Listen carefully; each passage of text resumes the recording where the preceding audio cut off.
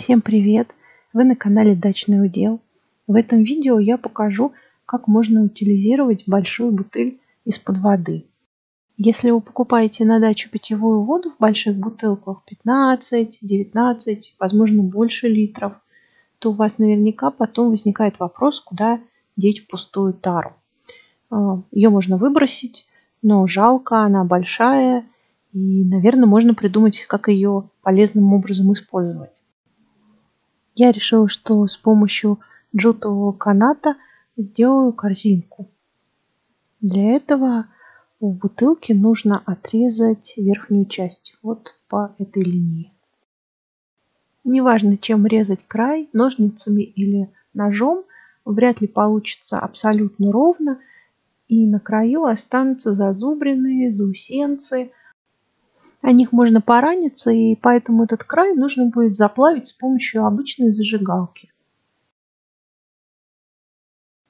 Для декорирования понадобится любая толстая веревка или канат. У меня в данном случае 8-миллиметровый джутовый канатик.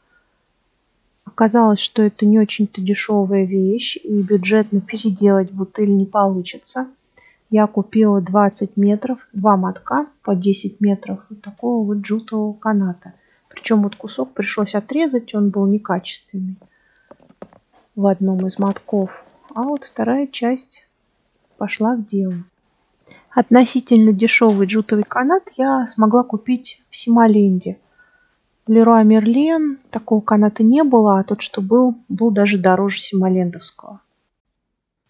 Канат к бутылке я приклеивала при помощи обыкновенного клеевого пистолета. У меня не самый дорогой, но не самый дешевый.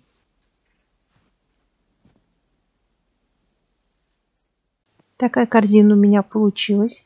Я начинала наклеивать канат снизу и постепенно э, разматывала бухту каната и вокруг э, наклеивая пистолет, э, приклеивала его к бутылке.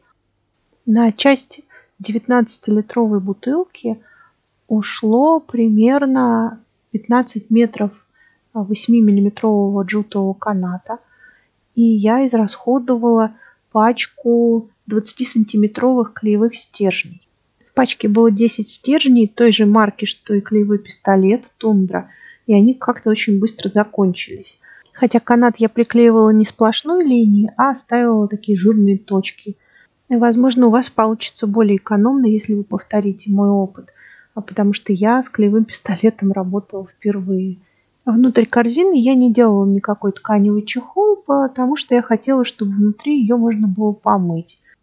В итоге получилась симпатичная корзинка, но вовсе не бюджетная. Чтобы было дешевле, нужно брать веревку из искусственного материала, а не джутовую. По-моему, получился красивый способ утилизации ненужного пластика.